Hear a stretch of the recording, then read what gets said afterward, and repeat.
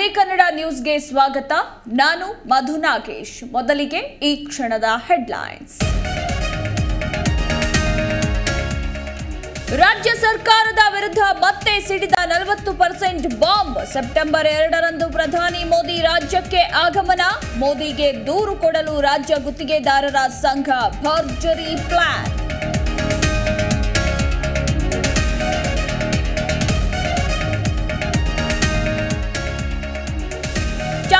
ಚಾಮರಾಜಪೇಟೆ ಈದ್ಗಾ ಮೈದಾನದಲ್ಲಿ ಗಣೇಶನ ಗಲಾಟೆ. ಗಣೇಶೋತ್ಸವಕ್ಕೆ ಅನುಮತಿ ನೀಡುವಂತೆ ನಾಗರಿಕ ಒಕ್ಕೂಟ ಸಮಿತಿ ಬಿಗಿಪಟ್ಟು ಎಂದು ಸರ್ಕಾರಕ್ಕೆ ನೀಡಿದ ಡೆಡ್ಲೈನ್ ಅಂತ್ಯ.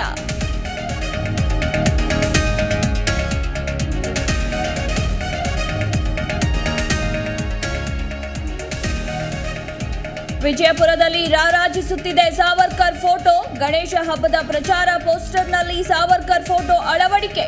ಹಿಂದೂ ಮಹಾಗಣಪತಿ ಮಹಾಮಂಡಳಿಯಿಂದ ಪ್ರಚಾರ.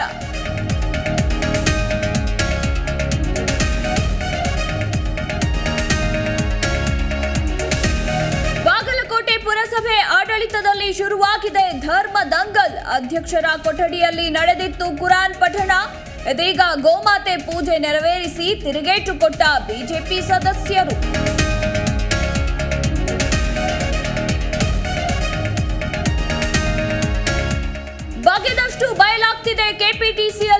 ಅಕ್ರಮ. ಬೆಳಗಾವಿಯಲ್ಲಿ ಮತ್ತೆ ಮೂವರು ಆರೋಪಿಗಳ ಅರೆಸ್ಟ್. ಅಕ್ರಮ ಪ್ರಕರಣದಲ್ಲಿ ಬಂಧಿತರ ಸಂಖ್ಯೆ ಹನ್ನೆರಡಕ್ಕೆ ಏರಿಕೆ.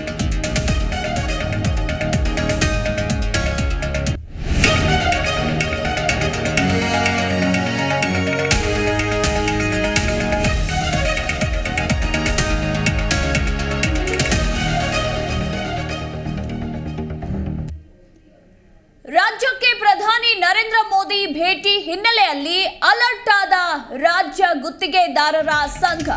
ಮೋದಿಗೆ ದೂರನ್ನ ಕೊಡೋದಕ್ಕೆ ಭರ್ಜರಿ ಪ್ಲಾನ್ ಅನ್ನ ಮಾಡಿಕೊಂಡಿದ್ದಾರೆ. ಇಪ್ಪತ್ತೆರಡು ಸಾವಿರದ ಐನೂರು ಕೋಟಿ ಬಿಲ್ ಬಾಕಿ ಉಳಿಸಿಕೊಂಡಿರೋ ಸರ್ಕಾರ.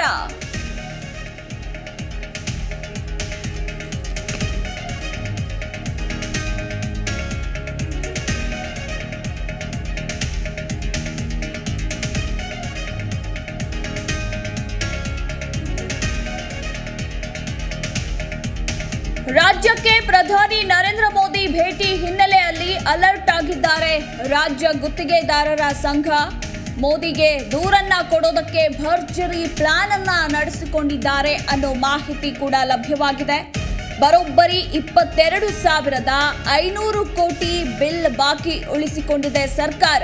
ಇನ್ನು ವಿವಿಧ ಕಾಮಗಾರಿಗಳ ಬಾಕಿ ಉಳಿಸಿಕೊಂಡಿರೋ ಸರ್ಕಾರ. ಬಾಕಿ ಬಿಲ್ ಬಿಡುಗಡೆಗೆ ಮತ್ತೊಮ್ಮೆ ಕಮಿಷನ್ ಆರೋಪ ಇದೀಗ ಭುಗಿಲೆದ್ದಿದೆ. ಕೆಲ ತಿಂಗಳ ಹಿಂದೆ ಮೂವತ್ತು ಪರ್ಸೆಂಟ್ ಕಮಿಷನ್ಗೆ ಗುತ್ತಿಗೆದಾರರು ಒಪ್ಪಿಗೆಯನ್ನ ಕೊಟ್ಟಿದ್ರು. ಇನ್ನು ಸಿಎಂ ಜೊತೆ ಸಭೆಯಲ್ಲಿ ಒಪ್ಪಿಗೆಯನ್ನ ಸೂಚಿಸಿದ್ದ ಗುತ್ತಿಗೆದಾರರು. ಆದರೂ ಕೂಡ ಬಾಕಿ ಬಿಲ್ ಪಾವತಿಸುವಲ್ಲಿ ವಿಳಂಬ ಮಾಡ್ತಿರೋ ಸಚಿವರು, ಬಾಕಿ ಪಾವತಿಗೂ ಹೆಚ್ಚಿನ ಕಮಿಷನ್ ಅನ್ನ ಕೇಳ್ತಾ ಇದ್ದಾರೆ. ಸಚಿವರು ಮತ್ತು ಅಧಿಕಾರಿಗಳು ಹಾಗೆ ಶಾಸಕರು ಅಂತ ಇದೀಗ ಗುತ್ತಿಗೆದಾರರ ಸಂಘದವರು ಆರೋಪವನ್ನ ಮಾಡ್ತಿದ್ದಾರೆ. ಇನ್ನು ಇದರಿಂದ ಬಾಕಿ ಹಣ ಬಿಡುಗಡೆಗೆ ಅಡ್ಡಿ ಸರ್ಕಾರದ ವಿರುದ್ಧ ಪ್ರಧಾನಿ ಹಾಗೆ ಮಾಧ್ಯಮಗಳ ಮುಂದೆ ಸರ್ಕಾರದ ಗೌರವಕ್ಕೆ ಧಕ್ಕೆ ತರುವಂತಹ ಎಲ್ಲ ಪ್ಲಾನ್ಗಳನ್ನು ಮಾಡಿಕೊಳ್ತಾ ಇದ್ದಾರೆ. ಈ ಕಾರಣಕ್ಕೆ ಹಣ ಬಿಡುಗಡೆಗೆ ಸತಾಯಿಸ್ತಾ ಇದ್ದಾರೆ ಸಚಿವರು ಕೂಡ. ಎರಡು ಸಾವಿರದ ಹತ್ತೊಂಬತ್ತರಿಂದ ಇಪ್ಪತ್ತು ಹಾಗೆ ಎರಡು ಸಾವಿರದ ಇಪ್ಪತ್ತರಿಂದ ಇಪ್ಪತ್ತೊಂದು ಹಾಗೂ ಅದಕ್ಕೂ ಹಿಂದಿನ ಬಾಕಿ ಸೇರಿ ಒಟ್ಟು ಇಪ್ಪತ್ತೆರಡು ಸಾವಿರದ ಐನೂರು ಕೋಟಿ ರೂಪಾಯಿ ಸರ್ಕಾರ ಪಾವತಿಸಬೇಕು ಇದೀಗ. ಎಸ್, ಈ ಬಗ್ಗೆ ಮತ್ತಷ್ಟು ಡೀಟೇಲ್ಸ್ ಕೊಡ್ತಾರೆ ನಮ್ಮ ಪ್ರತಿನಿಧಿ ರಾಜಪ್ಪ. ರಾಜಪ್ಪ, ಪ್ರಧಾನಿ ನರೇಂದ್ರ ಮೋದಿ ಅವರು ಸೆಪ್ಟೆಂಬರ್ ರಾಜ್ಯಕ್ಕೆ ಆಗಮಿಸ್ತಾ ಇದ್ದಾರೆ. ಇದೇ ಹಿನ್ನೆಲೆಯಲ್ಲಿ ಗುತ್ತಿಗೆದಾರರ ಸಂಘದವರು ಕೂಡ ಅವರಿಗೆ ನೇರವಾಗಿ ಭೇಟಿ ಮಾಡಿ ದೂರು ಕೊಡೋದಕ್ಕೆ ಭರ್ಜರಿ ಪ್ಲಾನ್ ಅನ್ನ ನಡೆಸ್ತಿದ್ದಾರೆ ಅನ್ನೋ ಮಾಹಿತಿ ಲಭ್ಯವಾಗಿದೆ. ಈ ಬಗ್ಗೆ ಮತ್ತಷ್ಟು ಡೀಟೇಲ್ಸ್ ಮಧುಮಲ ಈ ಇತ್ತೀಚೆಗೆ ಏನು ಸದ್ದು ಮಾಡಿದಂತಹ ಈ ಒಂದು ವಿಚಾರ ಮತ್ತೆ ಈಗ ರಾಜ್ಯದಲ್ಲಿ ಸದ್ದನ್ನ ಮಾಡುವಂತ ಒಂದು ಪ್ರಕರಣ ಶುರುವಾಗಿದೆ. ಯಾಕಂತಂದ್ರೆ ರಾಜ್ಯ ಗುತ್ತಿಗೆದಾರರ ಸಂಘದ ಪದಾಧಿಕಾರಿಗಳು ಪ್ರಧಾನಿ ನರೇಂದ್ರ ಮೋದಿಗೆ ಮತ್ತೊಮ್ಮೆ ಪತ್ರವನ್ನು ಬರೀಬೇಕು ಅಂತ ತೀರ್ಮಾನ ಕೈಗೊಂಡಿರುವ ಹಿಂದೆ ಹಲವಾರು ವಿಚಾರಗಳು ಸೇರ್ಕೊಂಡಿದೆ. ಅದರಲ್ಲಿ ಪ್ರಮುಖವಾಗಿ ಗುತ್ತಿಗೆದಾರರ ಸಂಘದ ಸುಮಾರು ಇಪ್ಪತ್ತೆರಡು ಸಾವಿರದ ಐದುನೂರು ಕೋಟಿ ರೂಪಾಯಿ ಅನುದಾನವನ್ನ ಬಿಡುಗಡೆ ಮಾಡಲಿಕ್ಕೆ ಈ ಮೀನಾಮೇಷ ಎಣಿಸ್ತಿರುವಂತ ಸಚಿವರಿಗೆ ಬಿಸಿ ಮುಟ್ಟಿಸಬೇಕು ಮತ್ತು ಸರ್ಕಾರಕ್ಕೆ ಎಚ್ಚರಿಕೆಯನ್ನು ಕೊಡುವ ಮೂಲಕ ತಮ್ಮ ಬಾಕಿ ಅನುದಾನವನ್ನ ಬಿಡುಗಡೆ ಮಾಡಿಸ್ಲಿಕ್ಕೋಸ್ಕರ ಆ, ಗುತ್ತಿಗೆದಾರರ ಸಂಘ ಈಗ ಪ್ರಯತ್ನವನ್ನು ಮಾಡ್ತಿದೆ. ಈ ಹಿಂದೆ ಮುಖ್ಯಮಂತ್ರಿ ಬಸವರಾಜ ಬೊಮ್ಮಾಯಿ ನಡೆಸಿದಂತ ಸಭೆಯೂ ಸಹ ಸಂಧಾನವನ್ನ ಎಲ್ಲೋ ಒಂದು ಹಂತದಲ್ಲಿ ಮಾಡಿದ್ರು ಸಹ ಪೂರ್ಣ ಪ್ರಮಾಣದಲ್ಲಿ ಸಂಧಾನ ಸಕ್ಸಸ್ ಆಗಲಿಲ್ಲ. ಹೀಗಾಗಿ ಅದಾದ ನಂತರ ಮುಖ್ಯಮಂತ್ರಿಗಳು ನೆಗೋಷಿಯೇಬಲ್ ಮಾಡಿ ಅಥವಾ ಏನು ಅಮಿಕಬಲ್ ಸೆಟಲ್ಮೆಂಟ್ ಮಾತುಕತೆ ಮೂಲಕ ಬಗೆಹರಿಸಿಕೊಂಡು ಅನುದಾನವನ್ನ ಬಿಡುಗಡೆ ಮಾಡ್ತೇವೆ ಮತ್ತು ಸೀನಿಯಾರಿಟಿ ಮೇಲೆ ಯಾವ ಕಾಮಗಾರಿ ಆಗಿದೆ ಅದಕ್ಕೆ ಹಣವನ್ನ ಬಿಡುಗಡೆ ಮಾಡ್ತೇವೆ ಅಂತ ಅದನ್ನ ಮಾತನ್ನ ಹೇಳಿದ್ರು ಸಹ ಅವರ ಮಾತಿನ ಮಾತಿನಂತೆ ಅಧಿಕಾರಿಗಳು ಮತ್ತು ಸಚಿವರುಗಳು ನಡೆದುಕೊಂಡಿಲ್ಲ. ಹೀಗಾಗಿ ಅಂತಿಮವಾಗಿ, ಅನಿವಾರ್ಯವಾಗಿ ಮತ್ತು ಅಂತಿಮವಾಗಿ ಅವರು ಮತ್ತೊಮ್ಮೆ ಮಾಜಿ ಮುಖ್ಯಮಂತ್ರಿ ಮತ್ತು ವಿಪಕ್ಷ ನಾಯಕರನ್ನ ಭೇಟಿ ಮಾಡಿ ಅವರು ದೂರನ್ನ ಸಲ್ಲಿಸುವ ಮೂಲಕ ತಮ್ಮ ಅನುದಾನವನ್ನು ತಮ್ಮ ಬಾಕಿ ಅನುದಾನವನ್ನು ಕೊಡಬೇಕು ಮತ್ತು ಮುಂದಿನ ದಿನಗಳಲ್ಲಿ ಈ ಒಂದು ಕಾಂಟ್ರಾಕ್ಟರ್ ಗುತ್ತಿಗೆಗಳ ತೆಗೆದುಕೊಂಡಂತ ಕಮಿಷನ್ ಪ್ರಕರಣ ಇತ್ತು. ಅದನ್ನ ಕಡಿಮೆ ಮಾಡಬೇಕು ಅಂತ ಒತ್ತಡವನ್ನ ಏರುವಂತ ತಂತ್ರವನ್ನ ರೂಪಿಸಿದ. ಆದ್ರೆ ಇದು ಎಷ್ಟು ಮಟ್ಟಿಗೆ ಸದಸ್ಯ ಅದು ಯಶಸ್ವಿ ಆಗುತ್ತೆ ಅಂತ ಒಂದು ಕಾದ್ ನೋಡ್ಬೇಕಾಗತ್ತೆ. ಯಾಕಂತಂದ್ರೆ ಈಗಾಗಲೇ ಬಿಜೆಪಿ ಸರ್ಕಾರ ಅವು ಸಾಯುವಂಗಿಲ್ಲ ಕೋಲು ಮುರಿಯುವಂಗಿಲ್ಲ ಅನ್ನೋ ರೀತಿ ಅನುದಾನವನ್ನು ಬಿಡುಗಡೆ ಮಾಡ್ತಿಲ್ಲ. ಅಥವಾ. ಇಡೀ ಪ್ರಕರಣವನ್ನ ತನಿಖೆಗೂ ಸಹ ಒಳಗೆ ಒಳಪಡಿಸ್ತಾ ಇಲ್ಲ. ಹೀಗಾಗಿ ಪ್ರಧಾನಮಂತ್ರಿ ರಾಜ್ಯ ರಾಜ್ಯಕ್ಕೆ ಆಗಮಿಸುವ ಸಂದರ್ಭದಲ್ಲಿ ಅವರ ಗಮನ ಸೆಳೆದು ರಾಜ್ಯ ಸರ್ಕಾರ ಮೇಲೆ ಒತ್ತಡ ಹೇರಿ, ಬಾಕಿ ಇರುವಂತಹ ಹಣವನ್ನು ಬಿಡುಗಡೆ ಮಾಡಿಕೊಳ್ಬೇಕು ಅಂತ ತಂತ್ರವನ್ನ ಗುತ್ತಿಗೆದಾರ ಸಂಘದವರು ಅನುಸರಿಸ್ತಾ ಇದ್ದಾರೆ.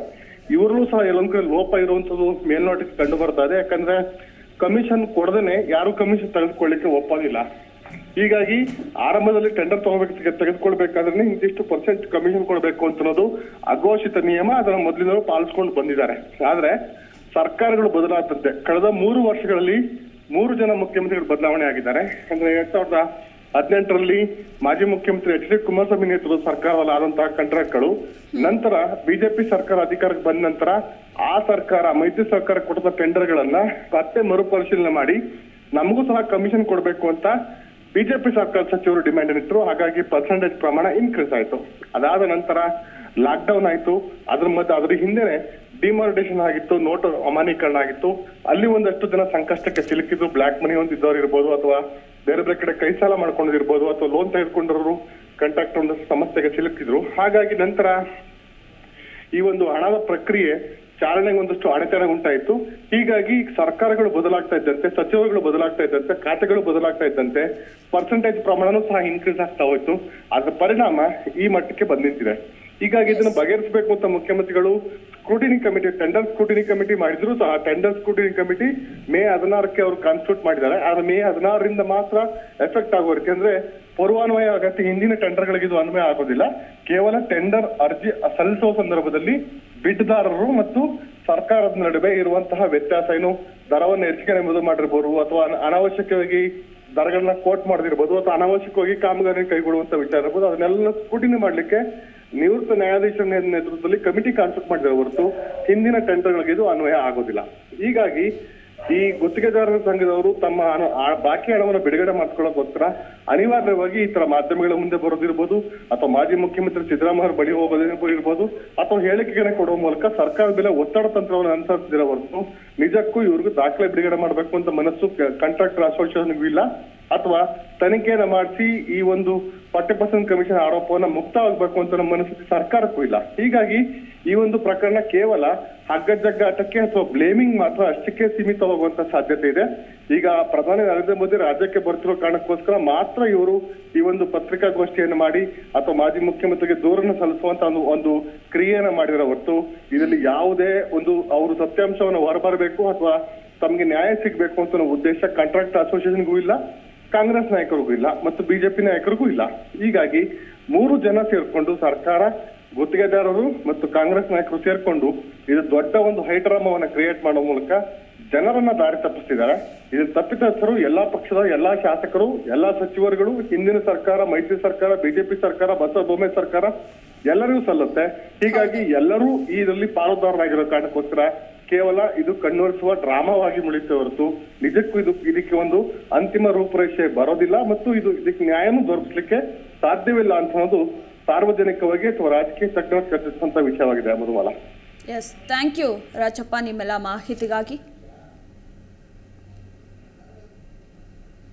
ಒಟ್ಟಾರೆಯಾಗಿ ಏನು ಮುಂದಿನ ತಿಂಗಳು ಸೆಪ್ಟೆಂಬರ್ ಎರಡರಂದು ರಾಜ್ಯಕ್ಕೆ ಪ್ರಧಾನಿ ನರೇಂದ್ರ ಮೋದಿಯವರು ಎಂಟ್ರಿ ಕೊಡ್ತಾ ಇದ್ದಾರೆ. ಸೊ ಹೀಗಾಗಿ ಅವತ್ತು ಪ್ರಧಾನಿ ಮೋದಿಯವರನ್ನು ಭೇಟಿ ಮಾಡಿ ಈ ದೂರನ್ನು ದಾಖಲಿಸಬೇಕು ಅಂತ ಈಗಿನಿಂದಲೇ ರಾಜ್ಯ ಗುತ್ತಿಗೆದಾರರ ಸಂಘದವರು ಭರ್ಜರಿ ಪ್ಲಾನನ್ನು ನಡೆಸಿಕೊಳ್ತಾ ಇದ್ದಾರೆ. ಇಪ್ಪತ್ತೆರಡು ಸಾವಿರದ ಐನೂರು ಕೋಟಿ ಬಿಲ್ ಬಾಕಿ ಉಳಿಸಿಕೊಂಡಿದೆ ಸರ್ಕಾರ. ಇನ್ನು ವಿವಿಧ ಕಾಮಗಾರಿಗಳ ಬಾಕಿ ಕೂಡ ಉಳಿಸಿಕೊಂಡಿದೆ ಸರ್ಕಾರ ಅಂತ ದೂರನ್ನ ಕೊಡೋದಕ್ಕೆ ಗುತ್ತಿಗೆದಾರರ ಸಂಘ ಈಗ ಭರ್ಜರಿ ಪ್ಲಾನ್ ಅನ್ನ ನಡೆಸಿಕೊಳ್ತಾ ಇದೆ.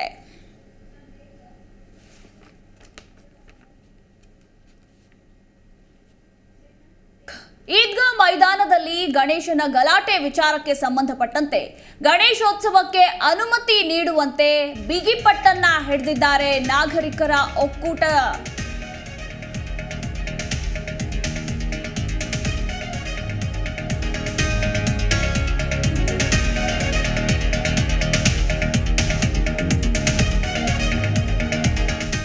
ಚಾಮರಾಜಪೇಟೆ ಈದ್ಗಾ ಮೈದಾನದಲ್ಲಿ ಗಣೇಶನ ಗಲಾಟೆ ವಿಚಾರಕ್ಕೆ ಸಂಬಂಧಪಟ್ಟಂತೆ ಗಣೇಶೋತ್ಸವಕ್ಕೆ ಅನುಮತಿ ನೀಡುವಂತೆ ಬಿಗಿಪಟ್ಟನ್ನ ಹಿಡಿದಿದ್ದಾರೆ. ನಾಗರಿಕ ಒಕ್ಕೂಟ ಸಮಿತಿ ರಾಜ್ಯ ಸರ್ಕಾರಕ್ಕೆ ಒತ್ತಾಯವನ್ನ ಮಾಡ್ತಿದ್ದಾರೆ.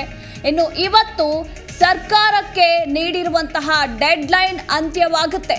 ಹದಿನೈದು ದಿನದಿಂದ ಮನವಿ ಮಾಡಿದ್ರೂ ಕೂಡ ಸರ್ಕಾರ ಯಾವುದೇ ಪ್ರತಿಕ್ರಿಯೆಯನ್ನ ಕೊಡ್ತಾ ಇಲ್ಲ, ಉತ್ತರಿಸ್ತಾ ಇಲ್ಲ. ನಾಳೆ ನಾಗರಿಕರ ಸಮಿತಿಯಿಂದ ಸಭೆ ಕೂಡ ನಡೆಯಲಿದೆ ಅನ್ನೋ ಮಾಹಿತಿ ಕೂಡ ಲಭ್ಯವಾಗಿದೆ. ಇನ್ನು ಅನುಮತಿ ಸಿಗದಿದ್ರೂ ಕೂಡ ಗಣೇಶನನ್ನ ಕೂರಿಸೋ ಬಗ್ಗೆ ಚರ್ಚೆಯನ್ನ ಮಾಡಲಿದ್ದಾರೆ ಅನ್ನೋ ಮಾಹಿತಿ ಕೂಡ ಸಿಕ್ಕಿದೆ. ಅಂದ್ರೆ ಕಳೆದ ಹದಿನೈದು ದಿನದಿಂದ ಮನವಿಯನ್ನ ಮಾಡಿಕೊಂಡ್ರೂ ಕೂಡ ಸರ್ಕಾರ ಯಾವುದೇ ರೀತಿಯ ರಿಯಾಕ್ಷನ್ ಅನ್ನ ಕೊಡ್ತಾ ಇಲ್ಲ, ಉತ್ತರ ಕೊಡ್ತಾ ಇಲ್ಲ. ಹೀಗಾಗಿ ನಾಳೆ ನಾಗರಿಕರ ಸಮಿತಿಯಿಂದ ಸಭೆ ನಡೆಸಲಿದ್ದಾರೆ. ಇನ್ನು ಆ ಸಭೆಯಲ್ಲಿ ಚರ್ಚೆಯನ್ನ ನಡೆಸಿ ತೀರ್ಮಾನವನ್ನ ತೆಗೆದುಕೊಳ್ಳಲಿದ್ದಾರೆ.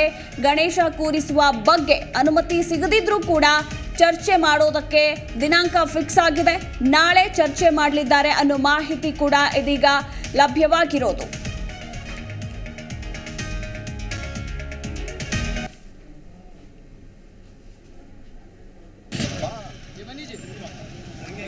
ಏನು, ಚಾಮರಾಜಪೇಟೆ ಈದ್ಗಾ ಮೈದಾನದಲ್ಲಿ ಗಣೇಶನ ಗಲಾಟೆ ವಿಚಾರಕ್ಕೆ ಸಂಬಂಧಪಟ್ಟಂತೆ ಗಣೇಶೋತ್ಸವಕ್ಕೆ ಅನುಮತಿ ನೀಡುವಂತೆ ಬಿಗಿಪಟ್ಟು ಹಿಡಿದಿದ್ದಾರೆ ನಾಗರಿಕ ಒಕ್ಕೂಟ ಸಮಿತಿ. ಇನ್ನು ರಾಜ್ಯ ಸರ್ಕಾರಕ್ಕೆ ಕಳೆದ ಹದಿನೈದು ದಿನದಿಂದ ಮನವಿಯನ್ನ ಮಾಡಿಕೊಳ್ತಾ ಇದ್ದಾರೆ. ಸಾಕಷ್ಟು ಪ್ರೊಟೆಸ್ಟ್ಗಳನ್ನ ಕೂಡ ಮಾಡ್ತಾ ಇದ್ದಾರೆ.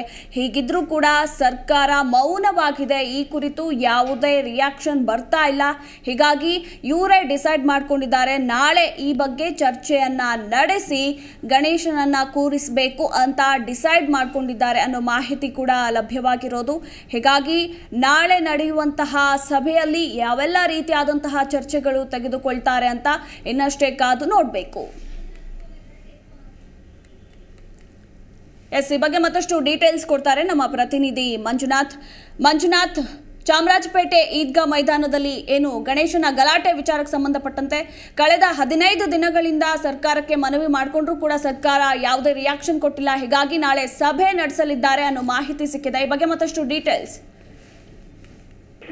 ಖಂಡಿತ ನಿಜ. ಬೆಂಗಳೂರಿನ ಚಾಮರಾಜಪೇಟೆ ಈದ್ಗಾ ಮೈದಾನದಲ್ಲಿ ಇದೇ ಮೊದಲ ಬಾರಿಗೆ ಸ್ವಾತಂತ್ರ್ಯೋತ್ಸವ ಸ್ವಾತಂತ್ರ್ಯೋತ್ಸವ ದಿನಾಚರಣೆ ಆಯಿತು ಧ್ವಜಾರೋಹಣ ಕೂಡ ಆಯಿತು.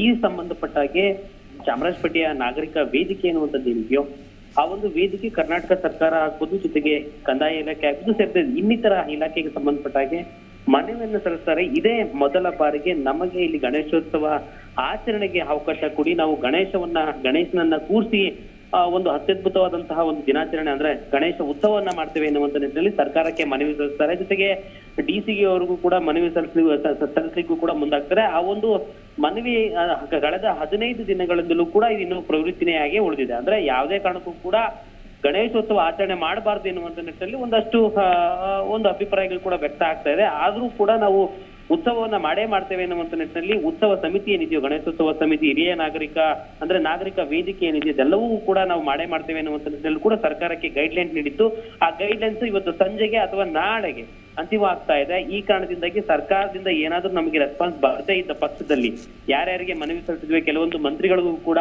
ಮನವಿ ಸಲ್ಲಿಸಲಾಗಿದೆ. ಕೆಲವಿಗೆ ಅಂದ್ರೆ ಸ್ಥಳೀಯ ಕಾರ್ಪೊರೇಟರ್ಗೆ, ಸ್ಥಳೀಯ ಶಾಸಕರಿಗೆ ಎಲ್ಲರಿಗೂ ಕೂಡ ಮನವಿಯನ್ನ ಸಲ್ಲಿಸಲಾಗಿದ್ದು, ಮನವಿಗೆ ಯಾವುದೇ ಕಾರಣಕ್ಕೂ ಕೂಡ ಇನ್ನೂ ಸ್ಪಂದನೆ ಸಿಕ್ಕಿಲ್ಲ. ಇದೇ ಕಾರಣದಿಂದಾಗಿ ಇವತ್ತು ಸಂಜೆ ಒಳಗಡೆ ಅಥವಾ ನಾಳೆ ಬೆಳಗ್ಗೆ ಒಳಗಡೆ ಒಂದು ಸಭೆಯನ್ನ ಕರೆಯಲಾಗಿದೆ. ಸಭೆಯಲ್ಲಿ ಮುಂದಿನ ರೂಪುರೇಷೆಗಳು ಹೇಗಿರುತ್ತೆ? ಗಣೇಶ ಉತ್ಸವ ನಾವು ಮಳೆ ಮಾಡ್ತೇವೆ ಅನ್ನುವಂತ ನಿಟ್ಟಿನಲ್ಲಿ ಪಣ ತೊಟ್ಟಿರುವಂತಹ ನಾಗರಿಕ ವೇದಿಕೆ ಏನಿದೆಯೋ ನಾಯಕರ ನಾಗರಿಕ ವೇದಿಕೆ ಜೊತೆಗೆ ಸಾಕಷ್ಟು ಕನ್ನಡ ಪರ ಸಂಘಟನೆಗಳು ಸಾಥ್ ನೀಡಿದ್ದಾವೆ. ಹಿಂದೂ ಪರ ಸಂಘಟನೆಗಳು ಕೂಡ ಸಾಥ್ ನೀಡಿರೋ ಕಾರಣದಿಂದಾಗಿ ಸಭೆಯನ್ನ ಆಯೋಜನೆ ಮಾಡಿ ಸಭೆಯಲ್ಲಿ ಗಣೇಶ ಉತ್ಸವ ಸಂಬಂಧಪಟ್ಟಾಗಿ ಏನೆಲ್ಲ ಕೈ ತೀರ್ಮಾನಗಳನ್ನ ನಾವು ಕೈಗೊಳ್ಳಬೇಕು.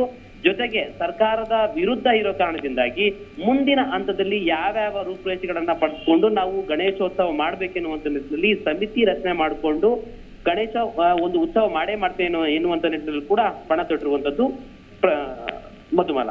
Yes thank you Manjunath, ನಿಮ್ಮೆಲ್ಲ ಮಾಹಿತಿಗಾಗಿ.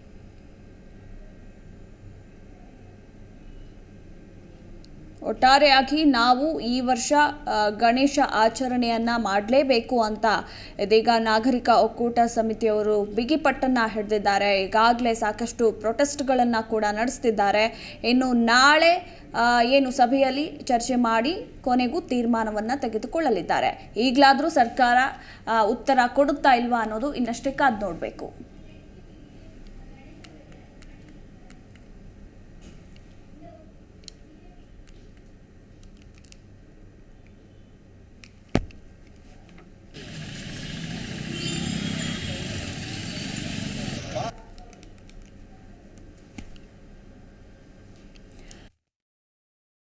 ಎಲ್ಲೆಡೆ ರಾರಾಜಿಸ್ತಾ ಇದೆ ಸಾವರ್ಕರ್ ಫೋಟೋಗಳು. ಗಣೇಶ ಹಬ್ಬದ ಪ್ರಚಾರ ಪೋಸ್ಟರ್ನಲ್ಲಿ ಸಾವರ್ಕರ್ ಫೋಟೋ. ಹಿಂದೂ ಮಹಾಗಣಪತಿ ಮಹಾಮಂಡಳಿಯಿಂದ ಈ ಚಿತ್ರಗಳನ್ನು ಅಳವಡಿಕೆ ಮಾಡಲಾಗಿದೆ.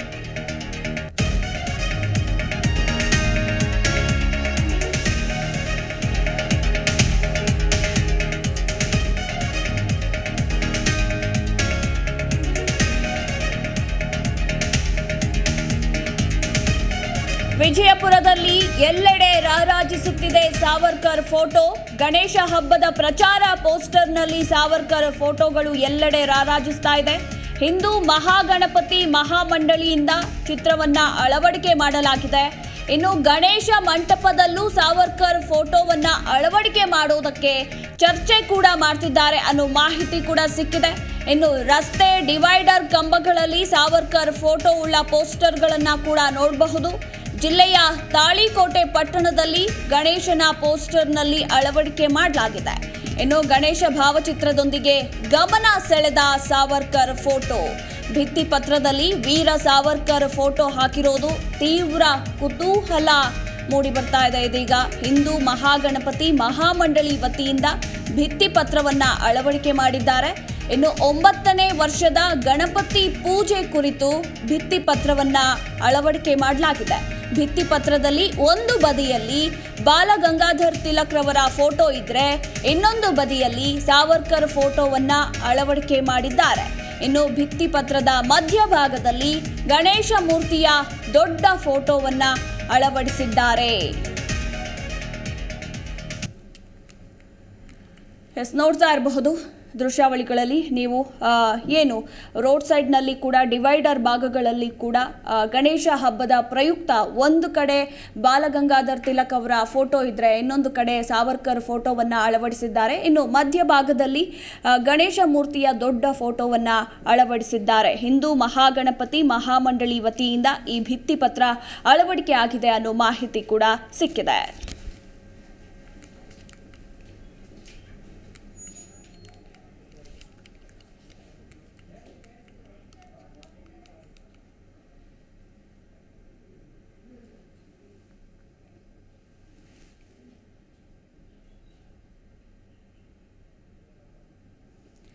ಒಂದು ಕಡೆ ಸಾವರ್ಕರ್ ಫೋಟೋವನ್ನ ಅಳವಡಿಕೆ ಮಾಡಿರೋದಕ್ಕೆ ವಾಗ್ವಾದಗಳು ಶುರುವಾಗಿದ್ರೆ ಇನ್ನೊಂದು ಕಡೆ ಇದೀಗ ವಿಜಯಪುರ ಜಿಲ್ಲೆಯಲ್ಲಿ ಎಲ್ಲೆಡೆ ರಾರಾಜಿಸ್ತಾ ಇದೆ ಸಾವರ್ಕರ್ ಫೋಟೋ. ಗಣೇಶ ಹಬ್ಬದ ಪ್ರಚಾರ ಪೋಸ್ಟರ್ನಲ್ಲಿ ನೀವು ಕೂಡ ನೋಡ್ತಾ ಇರಬಹುದು. ಒಂದು ಕಡೆ ಬಾಲಗಂಗಾಧರ್ ತಿಲಕ್ರವರ ಫೋಟೋ ಇದ್ರೆ ಇನ್ನೊಂದು ಬದಿಯಲ್ಲಿ ಸಾವರ್ಕರ್ ಫೋಟೋವನ್ನ ಅಳವಡಿಸಿದ್ದಾರೆ. ಇನ್ನು ಮಧ್ಯಭಾಗದಲ್ಲಿ ಗಣೇಶ ಮೂರ್ತಿಯ ದೊಡ್ಡ ಫೋಟೋವನ್ನ ಅಳವಡಿಸಿದ್ದಾರೆ.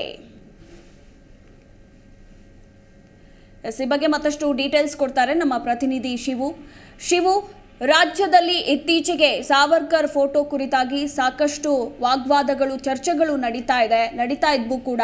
ಆದರೆ ಇದರ ಮಧ್ಯೆ ವಿಜಯಪುರದಲ್ಲಿ ಇದೀಗ ಗಣೇಶ ಹಬ್ಬದ ಪ್ರಯುಕ್ತ ಪೋಸ್ಟರ್ನಲ್ಲಿ ಅವರ ಫೋಟೋವನ್ನು ಹಾಕಿದ್ದಾರೆ. ಈ ಬಗ್ಗೆ ಮತ್ತಷ್ಟು ಡೀಟೇಲ್ಸ್ ಎಸ್ ಖಂಡಿತ ಮಧುಬಾಲ. ಏನು, ಕಳೆದ ಮೂರ್ನಾಲ್ಕು ದಿನಗಳಲ್ಲಿ ವಿಜಯಪುರದಲ್ಲಿ ಏನು ಸಾವರ್ಕರ್ ಫೋಟೋ ಬಗ್ಗೆ ಸಾಕಷ್ಟು ಗ್ರಾಸವಾಗಿ ಚರ್ಚೆ ಆಗ್ತಾ ಇತ್ತು. ಅದ್ರ ಜೊತೆಗೆ ಗಣಪತಿ ಈ- ವರ್ಷ ನಡ್ತಕ್ಕಂಥ ಗಣಪತಿ ಹಬ್ಬದಲ್ಲಿ ಕೂಡ ಆ ಗಣೇಶ ಮೂರ್ತಿ ಪಕ್ಕದಲ್ಲಿ ಸಾವರ್ಕರ್ ಫೋಟೋ ಕೂಡ ಅಂಟಿಸ್ತೇವೆ ಅನ್ನೋ ಒಂದು ಮಹಾಮಂಡಳಿ ಆ, ಅಧ್ಯಕ್ಷರಾಗಿರ್ತಕ್ಕಂಥವ್ರು ವಿಜಯಪುರದಲ್ಲಿ ಸಾಕಷ್ಟು ಬಾರಿ ಹೇಳಿದರು. ಸದ್ಯ ಆ ಒಂದು ಹಿನ್ನೆಲೆಯಲ್ಲಿ ವಿಜಯಪುರ ಜಿಲ್ಲೆ ತಾಳಿಕೋಟಿ ಪಟ್ಟಣದಲ್ಲಿ ರೋಡ್ ಪಕ್ಕದ ಡಿವೈಡರ್ ಪಕ್ಕದಲ್ಲಿ ಕೂಡ ಸಾವರ್ಕರ್ ಫೋಟೋ ಅಂಟಿಸಿರುವಂತದ್ದು ಸದ್ಯ ಏನು ಒಂದು ಫೋಟೋ ಏನು ಹಾಕಿದ್ದಾರೆ. ಗಣಪತಿ ಫೋಟೋ ಪಕ್ಕದಲ್ಲಿ ಸಾವರ್ಕರ್ ಫೋಟೋ ಮತ್ತು ಬಾಲ ಗಂಗಾಧರ ತಿಲಕ ಫೋಟೋವನ್ನು ಕೂಡ ಹಾಕಿ, ಸದ್ಯ ಹಿಂದೂ ಈ ಒಂದು ಹಬ್ಬದ ಆಚರಣೆಯಲ್ಲಿ ಹಿಂದೂಗಳು ಏನು ಪಾಲ್ಗೊಳ್ತಾ ಇದ್ದರು.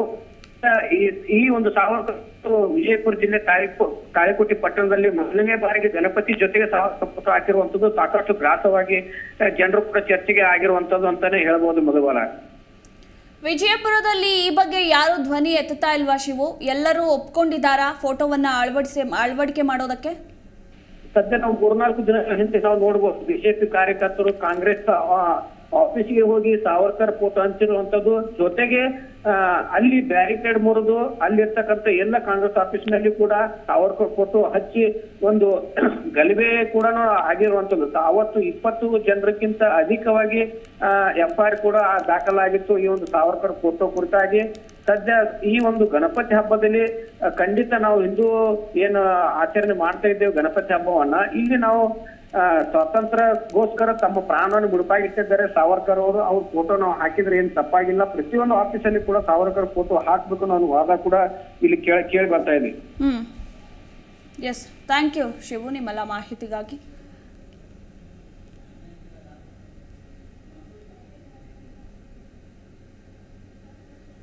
ಎಸ್ ಒಟ್ಟಿನಲ್ಲಿ ಪರ ವಿರೋಧದ ಚರ್ಚೆಯ ನಡುವೆಯೇ ಸಾವರ್ಕರ್ ಫೋಟೋವನ್ನು ಮಹಾಗಣಪತಿ ಹಬ್ಬದ ಆಚರಣೆಯ ಪ್ರಯುಕ್ತ ಅಳವಡಿಕೆ ಮಾಡಲಾಗಿದೆ. ಸೊ, ವಿಜಯಪುರದಲ್ಲಿ ಇನ್ನೂ ಇದರ ಬಗ್ಗೆ ಏನೇನು ಆಗುತ್ತೆ ಅಂತ ಇನ್ನಷ್ಟೇ ಕಾದು ನೋಡಬೇಕಾಗಿದೆ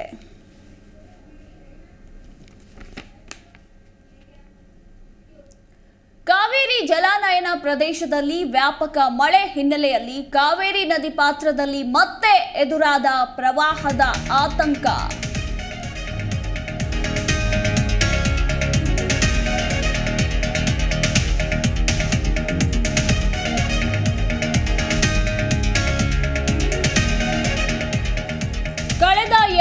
ಎರಡು ದಿನಗಳಿಂದ ವರುಣನ ಆರ್ಭಟ ಮತ್ತೆ ಮುಂದುವರೆದಿದೆ. ಹೀಗಾಗಿ ಕಾವೇರಿ ಜಲಾನಯನ ಪ್ರದೇಶದಲ್ಲಿ ವ್ಯಾಪಕ ಮಳೆ ಹಿನ್ನೆಲೆಯಲ್ಲಿ ಕಾವೇರಿ ನದಿ ಪಾತ್ರದಲ್ಲಿ ಮತ್ತೆ ಎದುರಾಗಿದೆ ಪ್ರವಾಹದ ಆತಂಕ. ವ್ಯಾಪಕ ಮಳೆ ಕಾರಣದಿಂದ ಕೆಆರ್ಎಸ್ ಡ್ಯಾಂಗೆ ಒಳ ಹರಿವು ಕೂಡ ಹೆಚ್ಚಳವಾಗಿದೆ.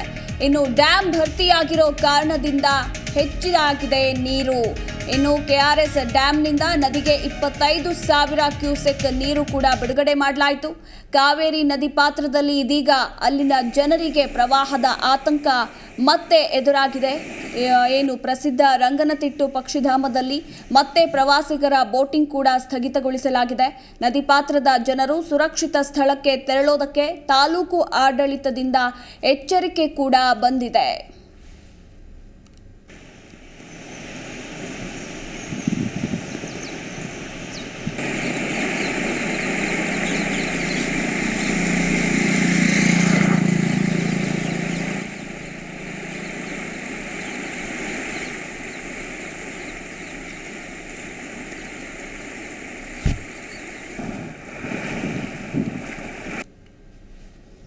ಎಸ್, ಈ ಬಗ್ಗೆ ಮತ್ತಷ್ಟು ಡೀಟೇಲ್ಸ್ ಕೊಡ್ತಾರೆ ನಮ್ಮ ಪ್ರತಿನಿಧಿ ರಾಘವೇಂದ್ರ.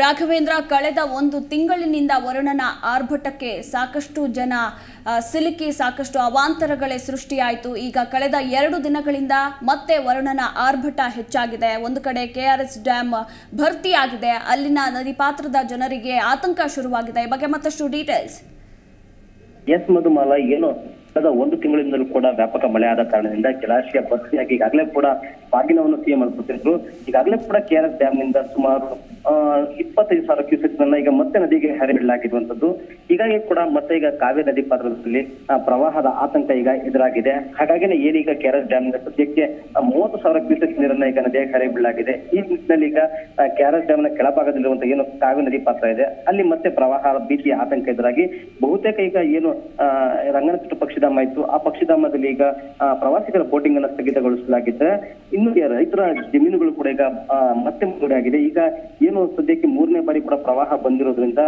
ರೈತರು ಈಗಾಗಲೇ ಪ್ರವಾಹದಿಂದ ಹೈರಾಣಾಗಿದ್ದಾರೆ. ಜೊತೆಗೆ ನದಿ ಪಾತ್ರದ ದಂಡೆಗಳಲ್ಲೂ ಕೂಡ ಈಗಾಗಲೇ ತಾಲೂಕು ಆಡಳಿತ ಏನು ಜನರಿಗೆ ಒಂದು ಎಚ್ಚರಿಕೆಯನ್ನು ಕೊಟ್ಟಿದೆ. ಯಾರು ಕೂಡ ನದಿ ಪಾತ್ರದ ದಂಡೆಗೆ ಹೋಗಬಾರ್ದು. ಮತ್ತೆ ನದಿ ದಂಡೆಯಿಂದ ದೂರ ಬರಬೇಕು ಅಂತ ಹೇಳಿ ಸುರಕ್ಷಿತ ಸ್ಥಳಗಳಿಗೆ ಹೋಗ್ಲಿಕ್ಕೂ ಕೂಡ ಸೂಚನೆಯನ್ನ ಕೊಟ್ಟಿರುವಂತದ್ದು Madhumala.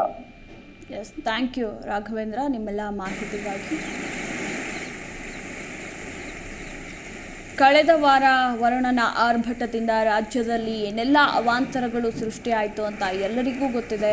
ರೈತರು ತಾವು ಬೆಳೆದಿರುವ ಬೆಳೆಗಳನ್ನು ಕಳೆದುಕೊಂಡ್ರೆ ಇನ್ನೊಂದು ಕಡೆ ಮನೆಗಳಿಗೆ ಮಳೆ ನೀರು ನುಗ್ಗಿ ಮನೆಗಳೇ ಇಲ್ಲದಂತಾಯಿತು. ಹೀಗಾಗಿ ಮತ್ತೆ ವರುಣನ ಆರ್ಭಟ ಮುಂದುವರೆದಿದೆ. ರಾಜ್ಯದಲ್ಲಿ ಮತ್ತಷ್ಟು ಅವಾಂತರಗಳು ಸೃಷ್ಟಿಯಾಗಲಿವೆ. ಒಂದು ಕಡೆ ಇದೀಗ ಕೆ ಆರ್ ಎಸ್ ಡ್ಯಾಮ್ ಭರ್ತಿಯಾಗಿರೋ ಕಾರಣದಿಂದ ಏನು ಅಲ್ಲಿನ ನದಿ ಪಾತ್ರದ ಜನರಿಗೆ ಮತ್ತೆ ಪ್ರವಾಹದ ಆತಂಕ ಎದುರಾಗಿದೆ.